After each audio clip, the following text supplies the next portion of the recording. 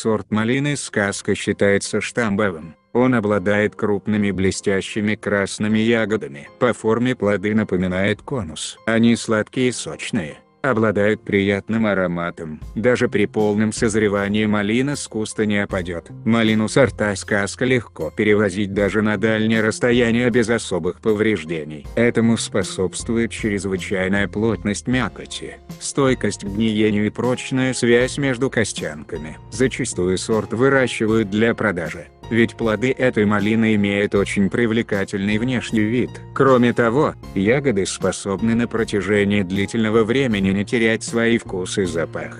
Данная разновидность культуры характеризуется средними сроками созревания, способна плодоносить с середины лета и до начала августа. Урожайность малины сказка высокая, с куста легко собрать до 6 килограммов ягод. Культуру можно использовать по-разному. Спелые плоды являются отличным сырьем для приготовления джемов и варенья. Их можно употреблять также свежими или заморозить, что позволит надолго сохранить ароматы ягод.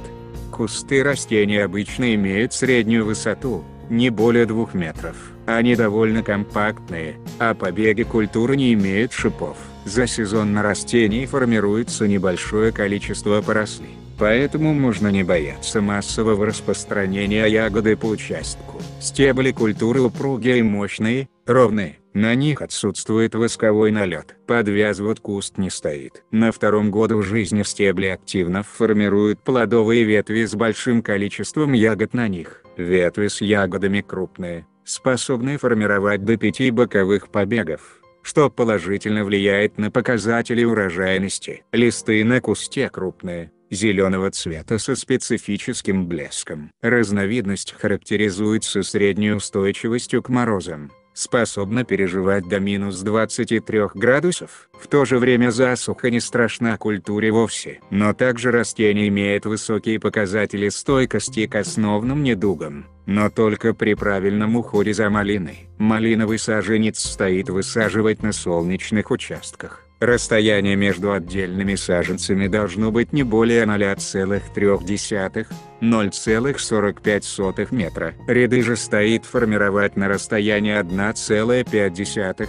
1,7 метра друг от друга. В таком случае вам будет значительно проще ухаживать за ягодой застаивание жидкости губительно для растения. На нем формируются слабые побеги, а корни начинают загнивать что может и вовсе привести к гибели куста. Увлажнение и мульчирование кругов почвы вблизи ствола обеспечит постоянную урожайность. Кроме того, на уровень плодоношения и размеры ягод влияет и систематическая обрезка кустов. Выращивание – оптимальный период для посадки разновидности малины – середина апреля. Такой срок не постоянен.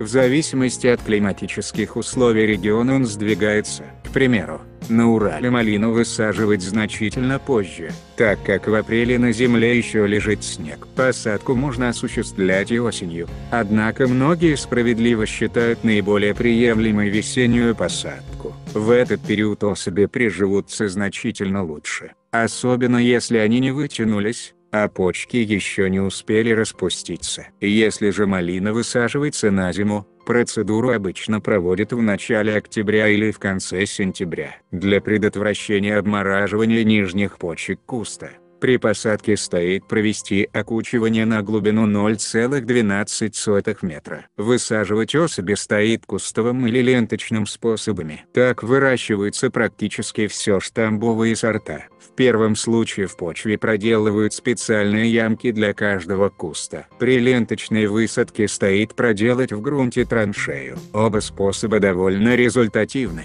Так что, выбирать стоит тот, который подходит вам. Для высаживания куста малины нужно вырыть яму размерами 0,5 на 0,5 метра. После этого корни культуры помещают в специальный раствор коровика, а после опускают в землю и присыпают землей. Между кустами нужно соблюдать метровую дистанцию. А между рядами – двухметровая. При траншейной высадке дистанция между кустами должна быть больше 0,4 метра. В этот период в почву вносятся подкормки в виде перегноя или золы дерева. Точка удобрения древесной золой земли. Саженец нужно заглубить так, чтобы после проседания земли растение находилось на 0,3 метра глубже уровня роста в защищенной почве. Уход размножаться растения сорта может несколькими способами. Наиболее эффективно размножение с применением черенков культуры. Реже применяют отростки корни или отводки. Однако данный способ менее эффективен, что объясняется небольшим количеством этих органов. Процедура ухода за сказкой во многом схожа с уходом за другими сортами малины. Однако, разновидность имеет свои особенности которые стоит учитывать. При высадке саженцев стоит отдать предпочтение хорошо освещаемым солнцем участкам.